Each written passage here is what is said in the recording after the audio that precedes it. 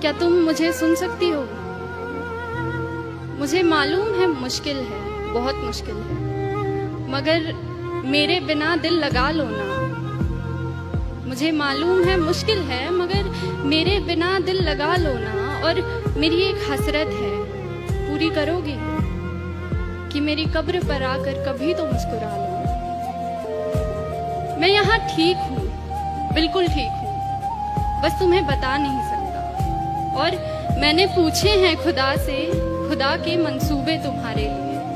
वो बोला कि वो मसरत अब देर तलक तुमसे छुपा नहीं सकता। यकीन मानो, हम साथ बैठ कर लिख रहे हैं एक नई सुबह तुम्हारे लिए। मैं अपनी जान इस जहान में लेकर आया ही नहीं। मैं अपनी जान इस जहान में लेकर आया ही नहीं हूँ। अरे, तुम भूल तो नहीं गई, तुम जान हो मेरी।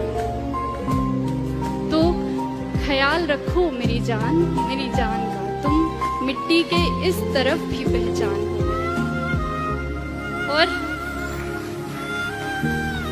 मेरी एक तमन्ना है, मेरी एक तमन्ना है कि मेरी कब्र पर रखा फूल अपनी जुल्फों में लगाओ। संवर लो। हाँ तुम्हें अब भी हक है, उतना ही हक है। कि इन फूलों का रंग अपनी सफ़ेद साड़ी में भर लो। ये सुर्ख लाली आँखों की उतारो जो आँखें रो रो कर लाल पड़ गई। कि ये सुर्ख लाली आँखों की उतारो फिर रुखसार पर सजाओ इसे।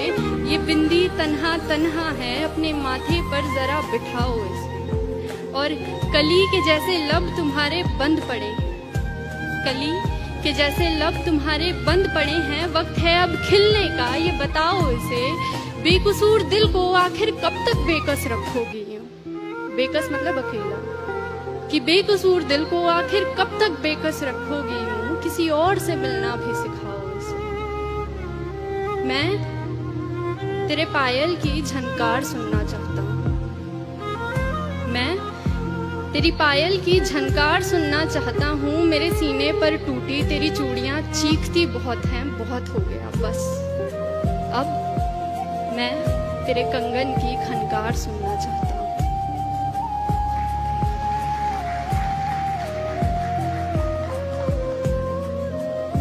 ठीक है ना, कोई बात नहीं। ज़िंदगी आखिर हम सबकी मेहमान ही तो होती है। ज़िंदगी आखिर हम सब की मेहमान ही तो होती है, मगर वो जो इतनी नफरतों के बाद भी, इतनी खामियों के साथ भी, इतनी गलतियों के बाद भी हमें कबूल करती है, देखो वो मौत भी रहमान ही तो होती है।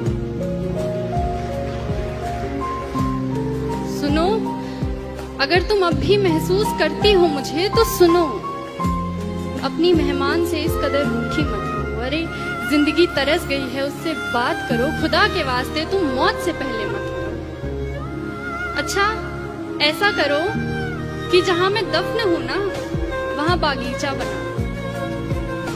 जहाँ मैं दफन हूँ, वहाँ बागीचा बना लो। फिर मेरी कब्र में खुशबू होगी, मगर फूलों को टूटना नहीं पड़ेगा। तू आती रहा करना, तुझे भी रंगों से छूटना नहीं पड़ेगा। तू खोल कर देख कभी घर अपना भी। तुझे सुकून यू रो रो कर मेरी कब्र से लूटना नहीं पड़ेगा। तू नूर है। बेकसूर है। आसमान की तरफ़ देख तो सही एक दफ़ा। तुझे पंखों से अपने रूठना नहीं पड़ेगा। गिरते हैं सजदों में हम अपनी ही हसरतों के लिए इकबाल। गिरते हैं सजदों में अपनी ही हसरतों की खातिर इकबाल। अगर गिरते सिर्फ़ इश्क खुदा में तो कोई हसरत अधूरी ना रहती।